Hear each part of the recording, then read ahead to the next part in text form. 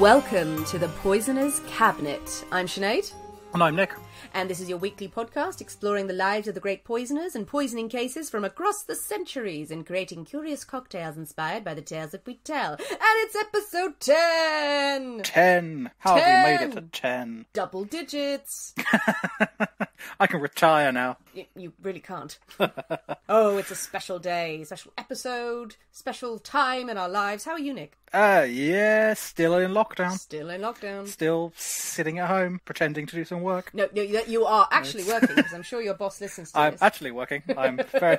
yes, they don't listen to this. Doing lots of poisonous research when I should be working. And then doing lots of working when you're supposed to be poisoning researching, yeah. Poisoning researchers. No, I don't think. No, poisoning researching, I said. I, I heard it. poisoning it! researchers. I heard it. I got it wrong. Thank you for pointing that out, Nick. Fine, pleasure. Lovely. As always. Any poisonings this week? Nope, nope, nope. We're still clear. We're still, Still clear. clear. You've, you've escaped the wrath of everyone. yes. No one can get to me. Before we get started, we have a promo to share with you. We would like to share more promos for other podcasts that we love on the show in the coming weeks, just so you've got more inspiration of fantastic shows to enjoy. And this first promo is from the delicious duo over at What the Fuck is in This Book? How does a ghost chicken lay an egg? Are flying priests the thing? What do you do if your two sons become possessed and you can't get them to bed? Is there a hotline for Sasquatch abduction? What if your new pet parrot is a secret arsonist? What kind of rain gear protects you from vulture vomit? Believe it or not, these are actual stories from an actual book. Hey, I'm Will. And I'm Annie. Join us each week as we delve into a story from a book that terrified us as kids as we ask, What, the, fuck, is in this book? Find us on Apple Podcasts, Spotify, or Castbox FM. Just search What the Fuck is in this book. Or follow us on Instagram at WTF is in this book. Brilliant. I adore this podcast. I love those two, Will and Annie. They are hilarious. It's just a brilliant combination of spooky stories, but proper banter. Their humour is right up my street. If you haven't found them yet, go and listen to their podcast. You will not be disappointed. It is pure gold. Love you two. Give them a listen, guys. So it's episode 10. We've got a very special episode coming up to celebrate the fact that we've reached a milestone, as it were. Nick, Hello. are you ready to drink cocktails and talk about poison? No. I'm sick of it. Give me the poison. All right, so, so you'd rather drink poison and talk about cocktails? Yeah, absolutely. I just need the cocktails. Let's do it. Let's make episode 10 the final one. This is how we die, everyone. So, we always start our episodes, as you loyal listeners will know, with a cocktail that is inspired by the tale that we tell and also helps us tell the story because we get a bit drunk. the cocktail has always got a secret ingredient, but this week we not only have a secret ingredient, we have a secret guest. We do. Who could our secret guest be? Ba, ba, ba.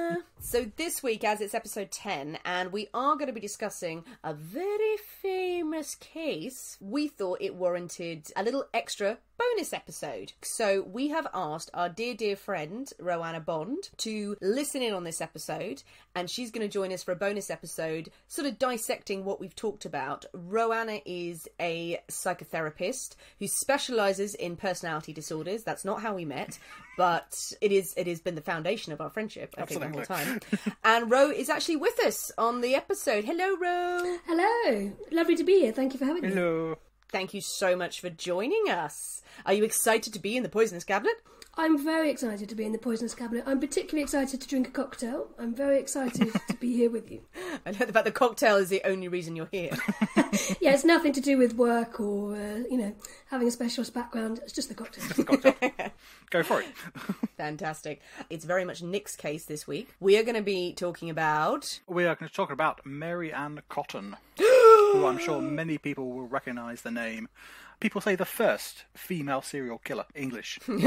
Eng- English female serial killer. I was going to say that several of our episodes will refute that Yes, fact, no. There's a little caveat in there. First English one. We can't say that every time we have a girl serial killer. Like, Yes, the first serial killer ever this week.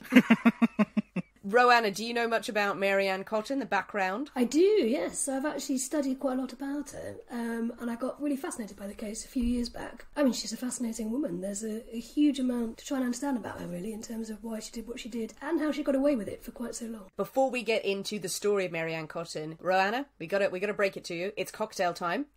Oh no. Oh no, I know. Oh, but bloody cocktails must be gotten out of the way before we get to Mary Ann Cotton. Our secret ingredient this week, Nick. What was the secret ingredient that we chose for episode ten? I told you, it's just had enough. The secret ingredient is arsenic. It's arsenic. so, just going with it. Um, arsenic alarm. Arsenic make alarm. make episode 10 special with an arsenic based cocktail. Oh, I'm happy and and scared.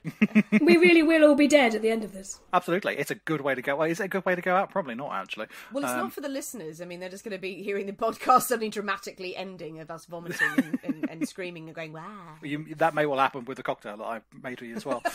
and even though we are in lockdown, I have made this cocktail and delivered it to Sinead and Ro. Cocktail fairy has been. Sorry, I should never call you that again, Nick. Been called worse, dear. I think it's a great title. I'm sorry. Cocktail delivery service has provided. Nick, being the master mixologist that he is, as we've said, we're all in lockdown. Nick has a beautiful cupboard full of delicious treats and wonderful liqueurs, and Ro and me just have bad wine and Pernod, probably, just kicking around. So Nick has been very kind and delivered a cocktail to us. So Nick, tell us what this week's cocktail is. So this week's cocktail is an arsenic and old lace. No. It's called. Uh, it's a fantastic name for a cocktail. Absolutely love the name for a cocktail. Wait, wait a minute. Wait a minute. Wait a minute. Are you saying that their name is arsenic and there isn't arsenic in this No, cocktail? it's called an arsenic and old lace. You'll find out if there's arsenic in it. You say that we're trust- we're trusting Nick, yeah, that he hasn't put arsenic in it. We might he might he might want to take over the podcast. Just do a solo show. Ah, so and he's yeah, I mixed like- up all the bottles. I like your thought there. when I when I saw you at a distance earlier on and you were handing over the bottles and you suddenly went, "No, not that one. That's mine," and then ran away. so I feel reassured. As as you should. Nick has delivered the cocktails. They are chilling, but we have to go and mix them up and serve them according to Nick's instructions. so I think it's time for us to shake up a storm. Go to our isolation kitchens, and we will see you shortly.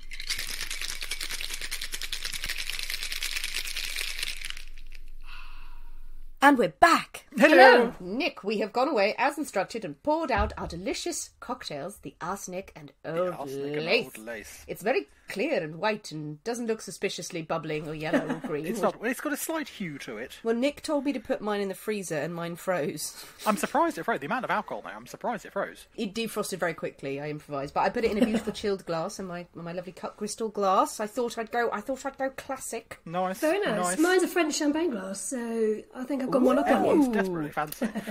It's a fancy podcast. okay, well, the arsenic and old lace we have is a gin-based cocktail. Knowing my audience, um, we've gone for a gin-based cocktail. So we have gin, we have vermouth, the startings of a martini, then we have absinthe Oh, that's exciting. No wonder it's an alcoholic. and violet liqueur, creme de violet. The old lace, which is the violet, and the arsenic, which is the absinthe. oh, totally. Parma violets. Everyone remembers those. From Granny's handbag and stuff like that. Oh yeah, Granny's handbag. I like the fact that you were just taking Parma violets and I was taking money for crack. We had very different grandmothers. You say I'm here to analyse the uh, Mary Ann Cotton case, but I'm actually analysing you, you two. This is why we've got you on, Ro. It's We need help. No, We're not going to launch this one. It's just therapy. Really, so. It's a really convoluted way of getting it, but great. There's there's no podcast, Ro. This is just all a setup. My fee is hundred pounds. I'm intrigued to everyone's what everyone thinks of this. All right, well, cheers, everyone. Let's get in for a taste. Cheers. Oh, I like it. Uh huh. Sinead doesn't. You don't. Is it the violet? Oh, oh, wait, oh, so many feelings. That's weird. But Ro, do you like aniseed? No, actually, I don't. Weirdly, but do you know what it's reminding me of? Those sweets, those purple, well, they're violet sweets. or something. Parma They're like- Parma violet. Oh, is that okay? When you said that earlier, I didn't really know what you were talking about. You're such a good therapist, Ro. You're like, yeah, totally. I totally understand. What yeah, you mean. absolutely. Yeah. Shh! Don't give the game away. But there we go. Oh, so that is a. So I'm sensing that it's not one for you, Sinead. I don't know. I don't know whether the freezing part of it ruined it. I don't know. It tastes like okay. I'm not opposed to aniseed. It's not my favorite thing in the world. Um, for example, but I it, it to me it tastes like ouzo right now. I don't mind ouzo. I don't mind it in Greece. Um, yeah, I don't know. Um, sorry, I'm second sip. Second sip. It's gentler than ouzo though, because ouzo is really harsh. This is a Yeah. bit gentler. I can taste the violets. I can taste the absinthe. I don't know. I don't know. It's, it's, well, it's fine. Is it the arsenic that's in it? It is it could it could be the arsenic in your one is throwing it off slightly. Um, Yeah, that's why yours tastes bad. Exactly. Yours are lovely. The two of you were like, mmm, yummy, and mine tastes like death. Apparently, I'm very suspicious and upset. What do you think, Nick? I, I quite like it. I'd say not usually a fan of the aniseed, but yeah, I think it's quite pleasant. It's I not. would. I mean, it's one that is going to get you. I can't swear really, can I? But it's going to get you pissed. I think. I think you um, can swear, Nick. We swear constantly through this show. Oh, okay, it's one that's going to get you twatted pretty quick. Um, because um, there, there is no everything in there is alcoholic. There is no any sort of mixer or apart from the water that's shaken it shaken with. yeah, that's that's, that's the it. thing. Actually, I'm, that's what I'm worried about. But I'm I'm gonna drink it for that reason.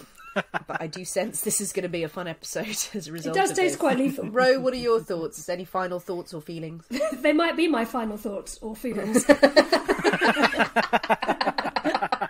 Uh, I I do like it. I'm a little bit worried about how I'll be at the end of it, and it's quite strong. But uh, no, I like it. I don't think I've ever had absinthe before, ever. So actually, that is a new experience for me. It's nice to have an absinthe cocktail, famous drink of the Victorians and of the uh, the Belle Epoque kind of era. And Moulin Rouge. Yeah, and Moulin Rouge. You know, it- it's what they what they did in Moulin, Moulin Rouge. If you've never seen that film, all they do is drink absinthe and, and just hallucinate. But yeah, modern absinthe, not quite the the thing that it was way back when. This yeah, this is a French absinthe. This one, so it's imported from France. So it's damn expensive. Ooh, okay. It's one of those things that I've been meaning to buy for months or years, in fact. And I thought, no, it's too expensive. It's too expensive. And one day, about three months ago, I thought, bugger it, I'm going to buy one. Oh, I feel very lucky. I thought you were going to say three weeks ago because that would have made sense. no, no, a few, a few months back. A few months back. Three days ago, lockdown became so depressing. Fuck it. It's one that will be in the in the cupboard though for probably a good couple of years to come because you use it so infrequently. But isn't it isn't it true with absinthe that you can only have two? I'm sure in France it's illegal, or it was, to have more than two. Oh, I don't. That I Because, don't know. because it's be that honest. alcoholic. Probably if you're just drinking it neat, maybe. But this is say this the absinthe in here is a tiny fraction. So you've got two and a half gin, one part vermouth, and then a quarter of violet and a quarter of absinthe. So both of those are tiny proportions, but it's surprising how strongly they come across. They're both such intense flavours. Tits. You're such an alchemist, Nick.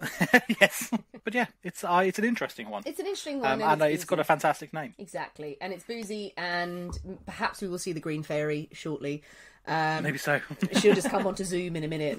Um, wonderful. The arsenic and old lace. Well, we've introduced our special guest, Ro. Now we're going to get rid of her really horribly. Yes. Ro is with us as an expert witness, and then we're going to do a bonus episode because we're in lockdown and you guys all deserve more podcasts from us. Even if you don't want them, you're getting them. you gotta get them. Ro's going to listen in, and so there will be a separate bonus episode that we're going to release a couple of days after this episode comes out, um, with all of us uh, completely hammered from these cocktails. Ro, as we said, is an expert. You know, this is her profession. She's far better at all of this than us. So, Ro, we will chat to you later. See yep, I'll chat to you later. Nick, Yeah, hello there. we have our cocktails in hand And are we ready for a story? I'm ready for a story. Uh, Ready for a story? Take me on a journey. So, as we said, we are talking about Mary Ann Cotton this week. Da, da, da. Da da da! Incredibly well-known case from the. We're back in the Victorian era, and of course we can't stay out there long because that's where all the poisoners live. that's that's where we're going to be. Don't go down to the Victorian era. There's poisoners in there. That's where the poisoners are from. Born Mary Ann Robinson, the 31st of October 1832, uh, to parents Michael and Margaret. Uh, Michael was a coal miner, um, and they lived in County Durham in the north of England. And it's strange because many years later at her trial, a description of her as a child surfaced in an article in a, a paper called the Northern Star, um, and she was described by her Sunday school superintendent. and that's also a brilliant, brilliant job title to have. But she was described as a most exemplary and regular attender, a girl of innocent disposition and average intelligence, distinguished by her particularly clean and tidy appearance. Oh. As It's also quite impressive that this the Sunday school attendant remembered her from probably about twenty years or so. Ah, yes, but then isn't it isn't it one of those cases where once the person has been convicted, I remember them, I remember I remember I her remember well. well. I Um, was the only person who ever spoke to her. You would think later on people always want to go, oh, I knew they were a wrong un, but oh, an exemplary. But yeah, no, she girl, was, uh, very clean. average intelligence. Oh, but an exemplary and regular attender. She was stupid, but she showed up. Yes, she came to Sunday school. Mary was about eight years old when they moved to a new village called Murton. Uh, not long after the move, Mary's father fell 150 foot um, to his death down a mine shaft Oh, God. um, at Murton Colliery. Um, where he worked. So, a, a tragic but probably not overly uncommon occurrence at, at the time. Um, what was a, a nice touch um, from the people at Murton Colliery was her father's body was delivered back to her mother in a sack, stamped property of South Hetton's coal company. Shut up. No. They put, they put him in Your a father, your father fell down, or your husband has fallen down a mine shaft, probably broken many things, Everything. and yes. died. Well, I think and we put him in. We put we put him in a bag, oh, God. and there you go. Have have your husband back, uh, but also as a, another nice whammy. That sort of the next day, they get a, a note from the um, colliery saying, "Can you please leave your house?" no. Because the, the cottage Oh, where they lived was supplied by the the colliery It was would have been one of the workmen's of cottages. job. That's all. Oh my god! So okay, in the space of what forty-eight hours, he's fallen 150 feet. I'm known for having no gauge of how far or tall things are. How how tall is 150 feet? Well, I don't know. You're talking like a two two story house is probably about twenty foot. Whoa. Maybe 20, 20, 30 foot for like a two story house. I understand now why the sack was needed. There's not going to be much left. Who is the guy who has to drop that off? Not not a fun. Not Knock a on the door. job. Here's a sack. Is it? Oh, is it presents for all of us? Tis Christmas Day. You're you're going to be disappointed when you open this sack. So Margaret, Mary's mother, is, is widowed, without a home. But not long later, in fact, less than a year later, her mother remarried to a chap called George Stott, uh, who was also a miner. A miner is in that's a profession, not he was five. Sorry, it's a bad joke. So Ro's having a brilliant time with this, analysing everything you say. Um, If you're going to give me a cocktail of pure alcohol beforehand, you're going to have to expect some bad jokes out of this. So she married a minor bird. she remarried Shush to a miner called George Stott. Uh, so, as I say, Mary and her stepfather did not get on at all well, and at 16, she fled the family home to a nearby village, uh, where she got a position as a household nurse. Okay. So the woman of the house Oh. was was ailing, so she was employed to look after the lady of the house. So not necessarily a trained professional, but just as No, no, just someone there, a companion nursemaid. to a nursemaid. Exactly. Yes, she wasn't in a hospital. She wasn't trained. In 1852, when Mary Ann was 20, she married a colliery labourer called William Mowbray uh, at Newcastle upon Tyne Registry Office, and they soon moved down to the southwest of England, somewhere in Cornwall. Don't know Lovely. exactly where, but we're looking in Cornwall, so quite a distance from where they were. Now, during this time, there are reports of four or five children, uh, Mary having four or five children by William while they're in the southwest of England. Now, unfortunately, there are no detailed reports or records of those children's names when they were born. Legally having to record birth and death didn't come into 1874. No records can be found of the, these children. So is that sort of the we don't know if they existed, we don't know if they survived? They, well, they certainly didn't survive, and I think very likely that they did exist. The first recorded child of Mary was um, a daughter called Margaret Jane, born in 1856.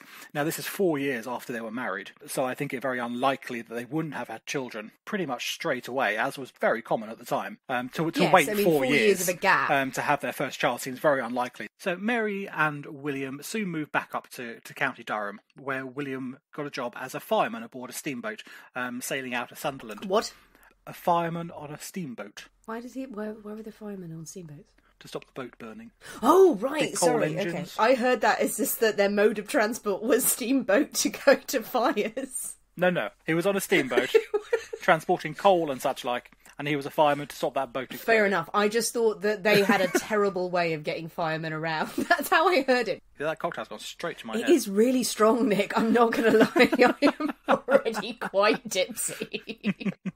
Um, a second daughter named Isabella was born in 1858. Unfortunately, Margaret Jane, the first daughter, died in 1860, aged four years old. Um, and a third daughter, also called Margaret Jane, so Margaret Jane II, comes along in 1861, followed by a son in 1863. But he too, unfortunately, dies young. Um, and in 1863, he dies only one year old. God, she's lost her father to a horrific accident, whatever's happened to the children, there seems to be a pattern of infant death, which is not, as we said, uncommon at the Well, time. it's not uncommon of this time, absolutely. I mean, all the deaths that we've got record of, really, there seems to be a very common theme that they were put down to gastric fever, which is a bit of a catch-all phrase Yeah. at the time to be, either was it typhoid or Cholera. cholera or any of those many sort of illnesses that were about at the time. But then, 1865, William Mowbray himself dies of an intestinal disorder, which is it's about as vague as inconclusive. We just know something in the stomach is a bit wrong. Um, we don't know what it was, but something there went awry. Yes, he has the devil in him. Yes. Yeah, the de- yeah, the devil. Got in it. ghost in your blood. Yeah, I don't think it was ghost, we don't know that it wasn't ghost. but we don't know it wasn't. Don't know it wasn't. Mary had a stroke of luck in that, fortunately, the lives of William and the children were insured, Oh, how convenient. which is which is which is quite convenient. Okay, I'm going with it. I, I have questions, but So, Mary collects a payout of thirty-five pounds Oh. on William's death, which is about three and a half thousand pounds in today's money, uh, which would have been about half a year's salary, so about six months' salary for a labourer. I thought you were going to say it was, she got thirty-five pounds, which in those days was three and a half thousand pounds, which in those days was a million pounds. Don't know why. I thought you were going to keep going. Do you need some coffee? So drunk now. no, I'm fine. So she also receives two pounds five shillings for their one-year-old son, who has also had a life insurance policy taken out on an infant. Taking a life insurance policy out on an infant, I had sympathy to a point, but now I have questions. well, I don't know anyone Yes. who would take life insurance out on a baby. I don't. Actually, I don't know. It was the it was the family. It was so it was William and also several of his, the other children as well also had life insurance insurance policies taken out on them. So William, obviously being the breadwinner, was the highest payout, but a number of the other children uh, were also insured. If it was done like under a family policy um, or, or individually, but in 1865, Margaret Jane II dies of typhus. So she's not having a lot, a lot of luck, unfortunately, leaving Mary Ann with only one of her potentially nine children that she's had so far. Isabella uh, is if I were Isabella, I would be worried. She's the only one left. Now, Mary Ann now takes a job at the Sunderland Infirmary House of Recovery for the cure of contagious fever, dispensary, and humane society, which is a long old thing to have on a plaque outside a building. It's probably just a load of rich people in Sunderland going, Aren't we lovely and very generous? We shall feed all the poor, starving people. Have some bread. That is what they did in the what- time. That's what they did. They came by going, we need we need medical supplies and houses. Bread for you. The remaining child, Isabella, is sent to live with Mary's mother um, and stepfather. Probably a good thing. I think it's probably probably wise at this point. At the Sunderland Infirmary House of Recovery for the Cure of Contagious Fever Dispensary and Humane Society, one of her patients was an engineer called George Ward, and her and George quickly struck up a relationship, and they were married on the 28th of August, 1865. Hurrah! That's quite a quick striking up of a relationship. How long? Well, we're talking less than a year since the death of her last husband. Hmm. So William Mowbray dies in January 1865. She's married to George Ward in August 1865. So she doesn't hang around. But I mean, George is in, is in hospital. He's he's a patient in this hospital, and he's been ill for quite some time. And something about him attracted her to him. Something about his suppurating wounds and his wheezy cough. Something about his nice insurance policy may have had something to do with it, because less than a year later, doctors are surprised at his sudden and unexplained death. so October 1866, George is no more. But she gave it a year. She gave it a year, and the the healthy insurance payout, I'm sure, helped console the grief. I think it would. I think it would it would it would help. Does your money keep you warm at night, make you happy? yes. Yes, you. yes. so after the death of her second husband, George, only one month later, mind, widower James Robinson hires Mary Ann as a housekeeper. So obviously she needs new employment now. She's not married. She needs a job. She gets hired as a housekeeper to James Robinson, um, who is himself, as say, a, a widower with with children of his own, which is nice. But a month later, in December, James's infant son John dies. What? Dies of the ominous and ever-present gastric fever. No. Yes, but in his in James's time of need, where does he turn for comfort? To her heaving breasts. Housekeeper Mary, and two months later, she's pregnant Pregnant. again. Again, we ha- we are seeing this. Oh no, the death, the death. I must shag my housekeeper. But at the same time, this is this is going on in the household of uh, James Robinson. Mary's mother becomes quite ill. Um, she becomes ill with hepatitis, but she's fifty-four. Ancient. getting I don't say getting on a bit, but she's had a respect. She's lived a, a decent length of time for a working class woman in this period. So Mary goes back to her mother's to try and help her convalesce. But nine days later, after Mary's arrival, she's dead. Oh, Jesus. Inexplicably. Dreadful stomach cramps, pain, vomiting. Oh, I'm dead. Mar- Mary So- is not a good nurse. She's, she's not doing well at the nursing. She's not doing well at the nursing. The housekeeping and the shagging, yes. Getting pregnant. Getting pregnant. She's very, very But she's a at that. terrible nursemaid. But then her mother, obviously, who's been looking after her child, her granddaughter. Looking after Isabella, I don't think she can be blamed for every single possible person who died around her. The mortality rate was very high. Infant mortality rate was very high. But anyway, so Mary takes her daughter Isabel back to live in the household of James Robinson. That's good of her. Doesn't want to leave him with a stepfather. He and Mary never got on very well, so and yet he survives. He survives. So Isabella goes back with Mary to the house of James Robinson. But as was becoming a familiar theme, Isabella, or stomach's feeling a bit dodgy. Oh! Yes, What? yes, yes, yes. And Isabella dies. But not just Isabella. Okay. Two of James's children, Elizabeth and James, also pass away, also die from this surprisingly common gastric fever. Is anyone pointing this out at the time? Well, it would appear Is not. anyone ringing a bell outside the house going, Jesus Christ? I say infant mortality rates are high at this time. She's also she's moving around. She's she's staying within the county Ah. Durham sort of area, but she's moving from village to village, town to town. So it's not as if she's in the one place all the time, and she's got a reputation jumping all over the place. So people perhaps don't know what's her history. And we have these three children who have died. Her own daughter. and her two not stepchildren, because at the moment James is not married. James and Mary are married, but all three of them die uh, and are buried within two weeks of each other in 1867. Are we to conclude that uh, the children had some sort of policy taken out on their lives? Well, no, I don't think they did. Oh! I don't think they did, but at the time, if James was to mysteriously have died, they would have inherited first. Oh, Okay, right. They are in the way potentially of her getting any sort of inheritance um, or benefiting in a will if James in the future was to suddenly pass That makes sense for them. But Isabella, we have to question of is she just in the way in just general? oh fuck i've got to look after this daughter now but isabella obviously was the daughter from the first marriage she does have a life insurance policy Uh, from the from the family policy they took out previously so she gets five pounds ten shillings and sixpence For the big family policy that covers all children and all people who've only been in the house. yes And that is the cost of a human life. so in a somewhat hastily arranged marriage james and mary marry in august 1867 and she was six months pregnant at the time so there may have been some whispers in the community about that slightly speedy, speedy relationship. Surely not. Margaret Isabella was born in November 1867. Margaret Isabella, Margaret Isabella. middle name after the daughter that has died. Margaret is the mother's name. Is Isabella is the, the daughter. Considering from her first marriage, she named two children identically. She's not an imaginative woman, is she? Well, if you have so many children, it's difficult to keep track. Call them all the same thing. James and Mary have another son, their second child, um, George, in 1869. See, now at this point, James Robertson has started to get slightly suspicious. he's now suspicious while he's just walking over the corpses of dead children in his house. He's he's suspicious. I think not necessarily for the death, but Mary is insisting that he takes out a life insurance policy for not just himself but for the children as well. Ooh, that's chilling. He has some older children left from this original marriage, and then the two children that he's had with Mary. And then he discovers that she has been running up debts behind his back. No. She owes sixty pounds. Sixty?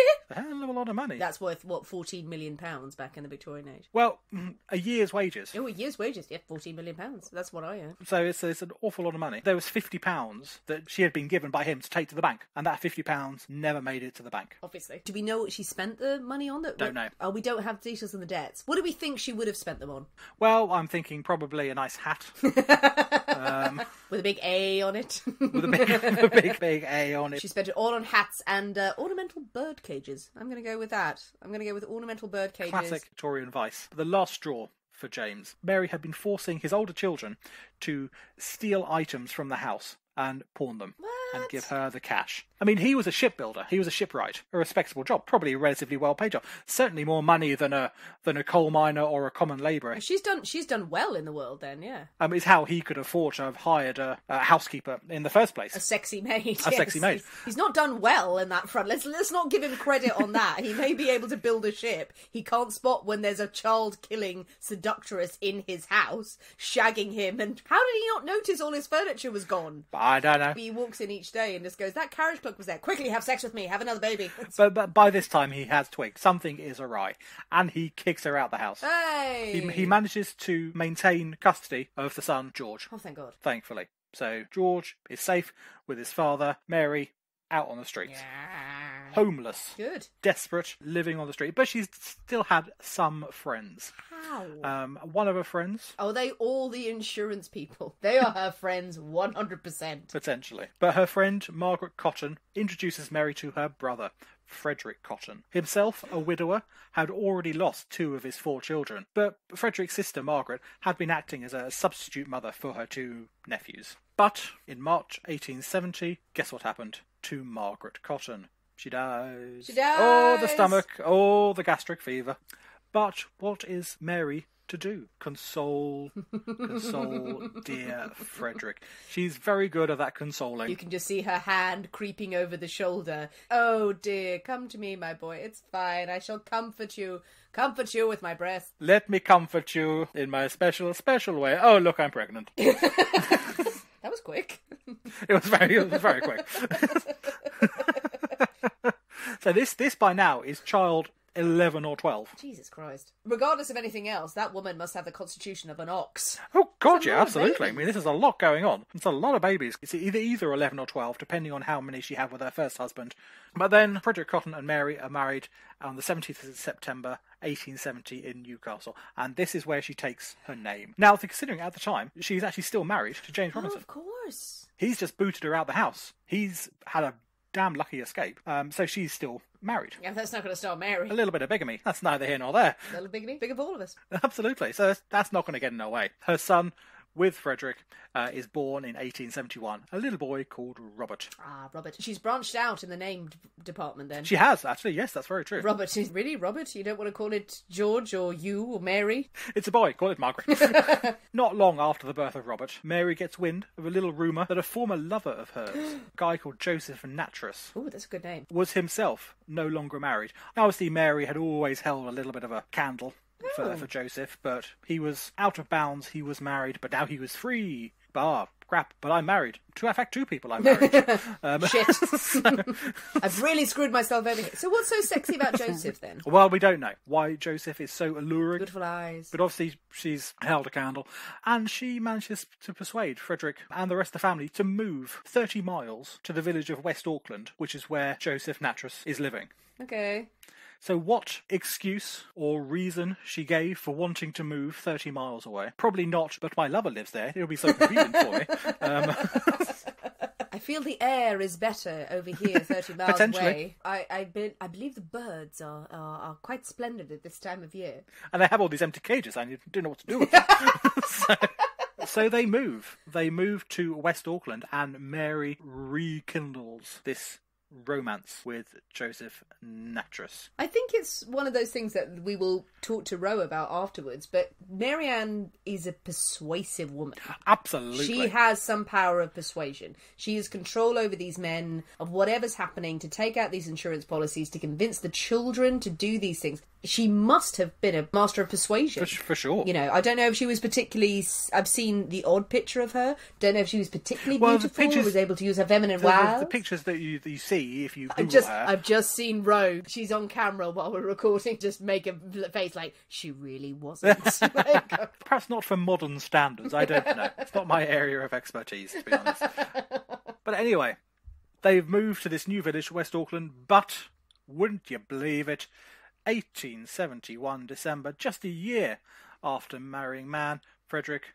Oh, he's dead. oh, he's dead. Oh, he's dead. That gastric fever strikes Gastric again. Fever is always there. They will eat those spicy peppers. Those insurance payouts, they do soften the blow. What?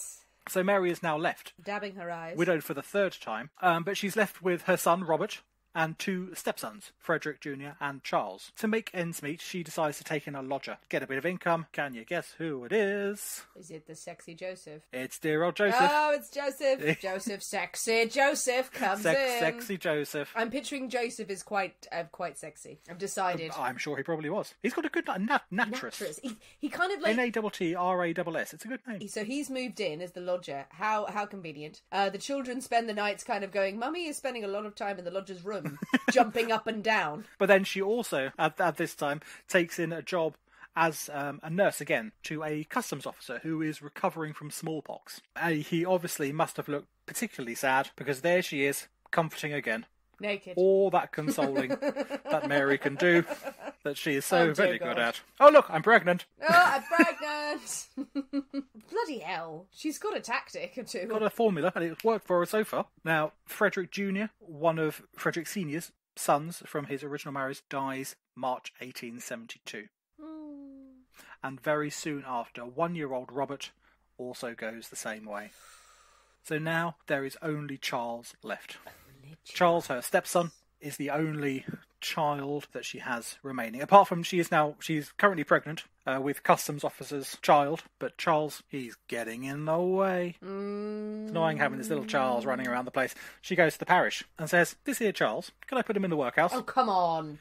He's my step. He's not even my son, stepson, and I'm expected to look after this stepson. Oh my god, how inconvenient!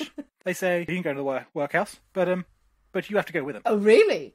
Yes, well you can go to the workhouse, but obviously if you can't look after Charles, then you probably can't look after yourself either. Nice. So you, you want him in the Yes. workhouse, then you're going in the workhouse to look after him. And she goes, hmm, I think I'll pass. Oh, God. Oh, yeah, I have another solution. But she, as she's as she's walking out of the door of the parish office, after they said they said no, she says, "Don't worry, I won't be troubled long. He'll go like all the rest of the Cottons." Ju- Just in passing, And no one says anything. just in passing one to says the parish official. Why would you say such a thing? I don't know. Perhaps she muttered it under her breath in a sort of sneaky way.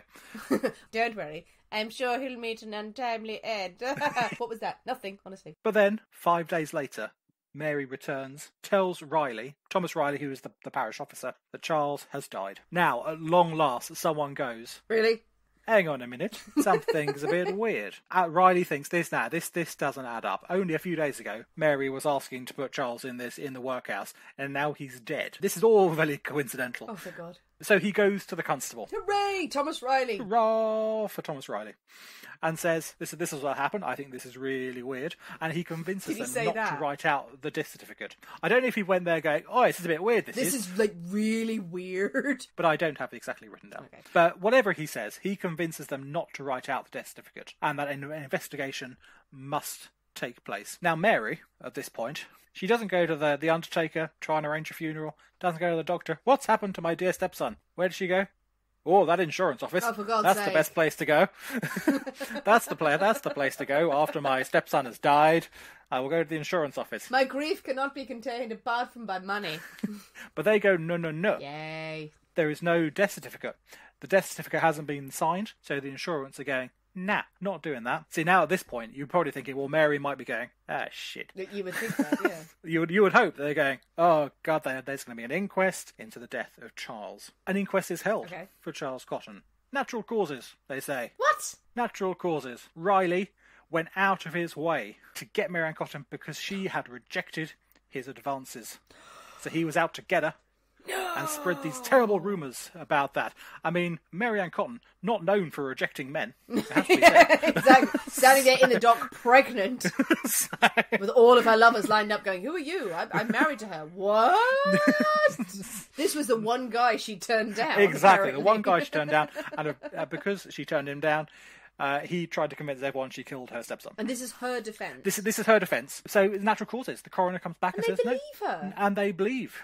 Again, this her. is shaping up. Mary Ann Cotton, just what a liar, and what, What an a liar, and- absolute constructor of the most horrible webs of stories. But everyone believes her. Everyone believes her. What happens now is you would think hmm. that's probably it's put to bed. Natural causes, it's done. Death certificate is signed. End of There we go. story. Money. But what happens now is something that only really starts to happen in the Victorian times. That the papers get hold of the story. Start off with it's the local press. They find out what's going on. They start writing about it. And they start picking apart Mary's life. Where has she been? Where has she been? Oh, she's got a husband there. Oh, she's got a husband there. Oh, she's still married to that husband over there. She's had this child and that child and that child. So four husbands, three of them dead, a dead lover, a dead mother, and potentially 12 dead children, with a 13th on the way. All of whom die from the ominous gastric fever. to be fair to Mary, infant mortality rates very high at this time, and no doubt a number of her children were legitimate, tragic early deaths, F- not by her hand. Hmm. But I, but a mortality rate of 100% is somewhat high. Yes, it's somewhat. Um, that is high. higher. That is a bit higher than average. I think on this occasion we can say without too much fear of retribution that you know she she was killing kids. And if one of her children tragically died of natural causes i don't think it bothered her that much so i have zero sympathy Oh, I'm sure if if that hadn't happened, then the child, child would would have gone the same way for sure. I mean, what what happens now is that say the the press have got hold of the story. Say then the rumours start. The rumours start. Rumours give rise to suspicions, and suspicions start investigations.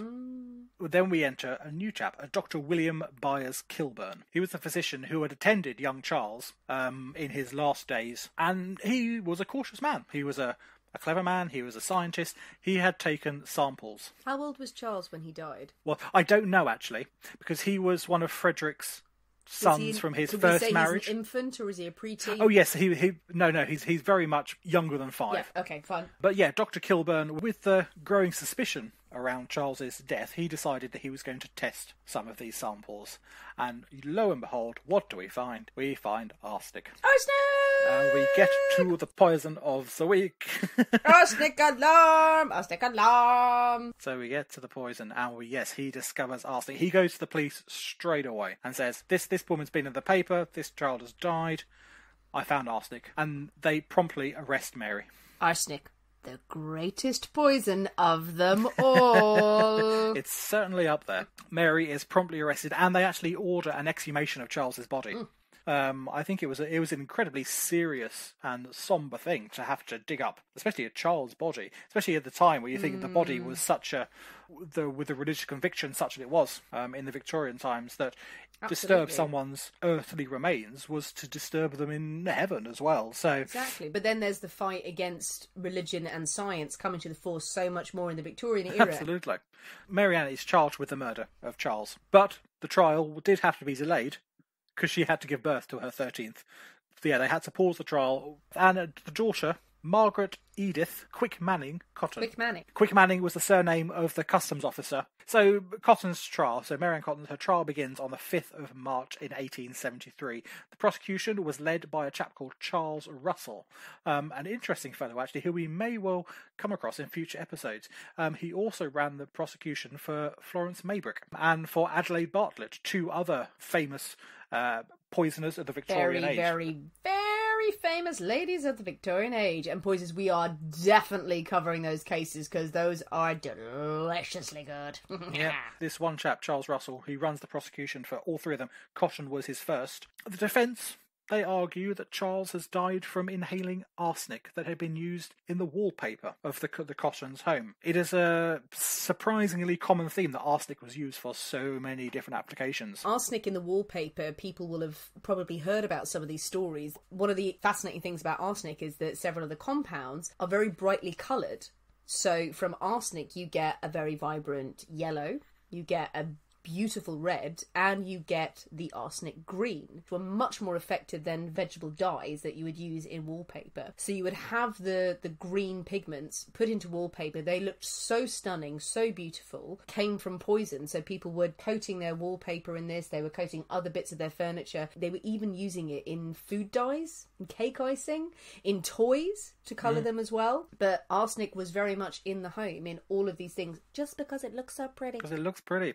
So that that that was the defence that yeah, the arsenic from the wallpaper had leached out. That summer had actually been incredibly hot, um, and the wallpaper had started flaking. So there were particles of this pigment um, in the air, and they had been breathed in just by the inhabitants of the house, which was a legitimate thing that did happen. in this trial you can use it as a legitimate defence. Well, not legitimate. It's more of a kind of this probably happened. Well, it, it was it was a bit of a hail mary because the nice football reference from you, actually, Nick. I don't think I've Yeah, ever heard you is that is that a football? Yes, a hail mary. Is that a hail mary reference? is from um is from American football. I know the term. I mean, again, my American football knowledge is limited. It's a hail mary. It's a last ditch attempt. I was assumed it was some religious but thing. no, it's honest. American. Nick, you know about sport. I know about oh, Arsenic has brought this One to of my proudest moments ever, pub quiz. I got a sports question that Ben didn't know.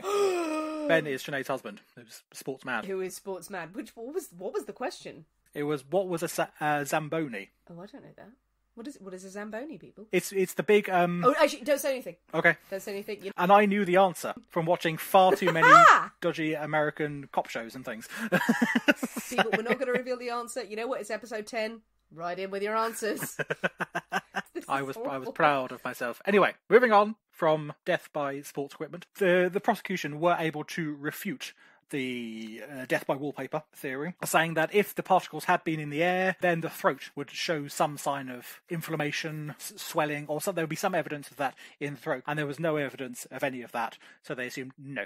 I mean, there's not actually a huge amount of, of detail of what the prosecution did rely on as their as their evidence. The main thing being obviously the, the trail of destruction that had followed Mary wherever she had been, the fact that she had lost twelve of her thirteen children, um, and three of her husbands had passed, had died, and also that she had been witnessed from buying arsenic. Yeah, the, the prosecution did latch onto that as it took less than 90 minutes for the jury to come back. She was guilty. Because that even even at that sort of time, you couldn't she couldn't have shagged all of them in that time. No, probably probably not. It would have been Ninety tricky. minutes, you should have slipped round going, "Hello, let me nurse you." Do you need comforting? Do you need comforting in the time of your deliberation? So, on the 24th of March, only 19 days after the start of her trial, Mary was led to the gallows by hangman William Calcraft. Now, this gets a bit gruesome, to be perfectly honest with you. I am here for it. Mary standing on the, the scaffold, noose around her neck, and he pulls the lever to release the trapdoor. Mary falls. She falls two foot. Oh, nowhere near enough for her neck to break. She is left there hanging, two foot, clawing at the noose around her neck, can't breathe, struggling to breathe, just hanging there. William Calcraft, the executioner, is his his last resort is he grabs her shoulders and pulls her down to try and speed up the process of her death.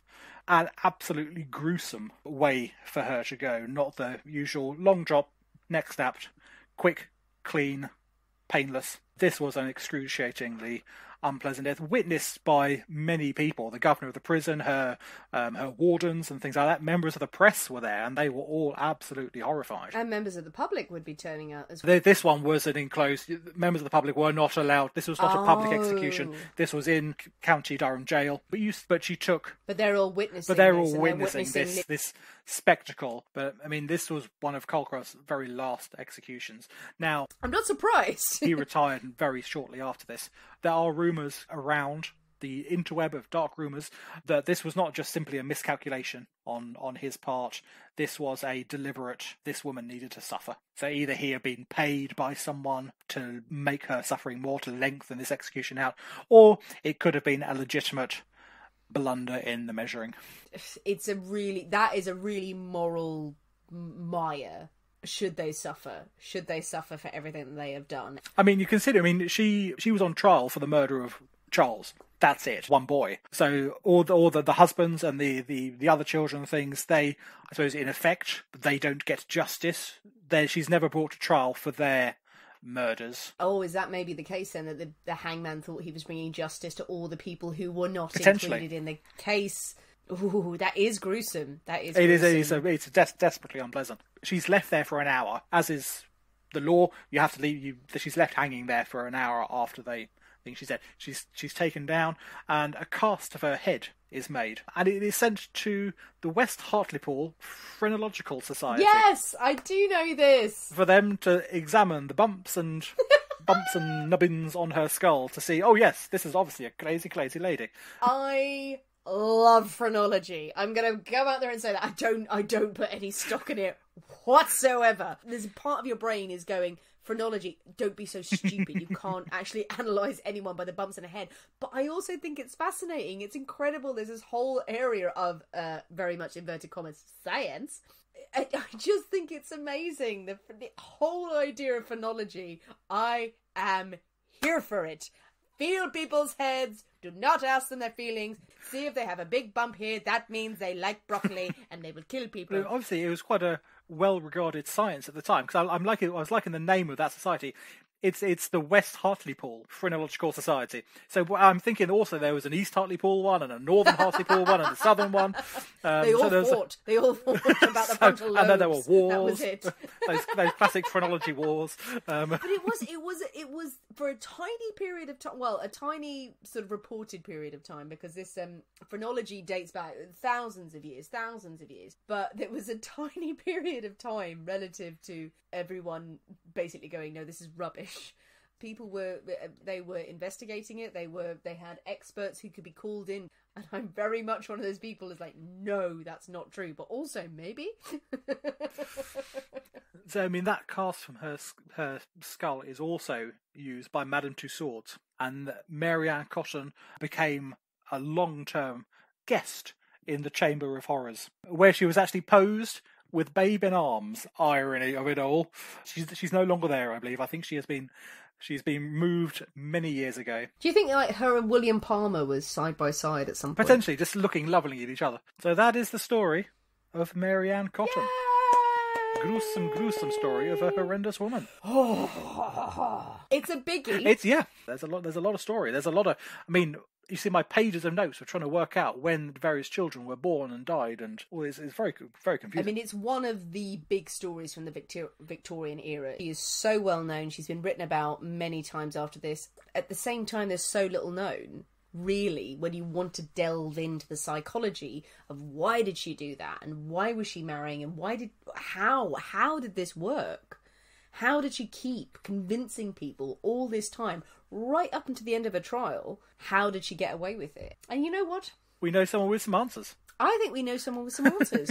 we are naive and we don't have the training, and also, thanks to Nick's cocktail, we're too drunk to even approach discussing this. We are going to hand over to Ro, and we are going to be on an extra episode that's going to come out later this week, talking about this case, talking about all the psychology behind female poisoners, and let's carry on the debate afterwards. But otherwise, Mary Ann Cotton, what a story! And why is arsenic the greatest poison of them all? Nick, thank you for all the work you've done. We said last week we really want to give some appreciation back to our listeners. Thank you for listening. So many people are away from their loved ones, away from their family, but you have invested your time in listening to this podcast, and we cannot tell you how much we appreciate it. We love you. Um, but we really wanted to give a chance for people to share the love about the loved ones they can't speak to, the businesses that they want to support. We will do it every single week. If you want to give a shout out to someone you love on our podcast, we will make every effort to do so. The first one we have is from Mrs. Monster. We're using your Instagram handle, so if it's not your real name, feel free to let us know. Mrs. Monster says, I only live a mile away from my mum, Jill, but I miss her so much. She drives to my house occasionally and we chat, and she stays in her car, but not being able to hug her is killing me. I live with someone who's type 1 diabetic, so can't be too careful with my social distancing rules. I usually see my mum every day and she's my best friend. I get weepy when I see her and she's on her own as my pops works abroad. She's an absolute badass and complete legend. I love her so much. I'm glad she's got her three mad cats to keep her company. And that's from Claire. Mrs. Monster is her Instagram handle. But from Claire saying to her mum, Claire, you are an absolute legend. You're a lovely person. Okay, so this next one is from Dorothy Olive Neal, again from Instagram. She has said, I can see her, so it might not be a priority, but I'd like to give a shout out to my BFF and housemate Jez, who I keep keep prompting to listen to your podcast, but she keeps forgetting to do so. This might be because of our quarantine habit habit of drinking cocktails made from the weird stuff at the back of the drinks cabinet, which is an excellent way to find out new cocktails, while you drunkenly retell and act out the poisoning stories for her. As amusing as is this, I'm sure you guys will do a better job, so this may maybe this will incentivize her to tune in on the regular. I hope you do, and I hope you all stay safe. Final shout out from a dear friend of mine and Nick's who very kindly commented. Uh, this is from Tim, who is Dry Wipe History on Instagram. He's uh, an incredible artist and a history teacher. He's one of our key workers as well, out there teaching the kids. And he just said, Can I shout out to you and Nick because it's an arse, British, that I can't come up to Canterbury to see you. We miss you, Tim. We love you. Thank you so much for Love supporting Tim. us. Uh, and we will see you soon. Do send us some messages, post, comment wherever you need to if you want us to do a shout out. Also, want to say a huge thank you to Kevin and Becca at We Need to Talk About Ghosts for having uh, Sinead and I on as a special guest round on their recent paranormal quiz on Saturday. It was fantastic, great fun to do, and a great evening. So, thank you very much for inviting us along to that. So, as ever, we have been the people inside the poisoner's cabinet. We will see you next week, and remember, your loved ones are trying to kill you. Bye.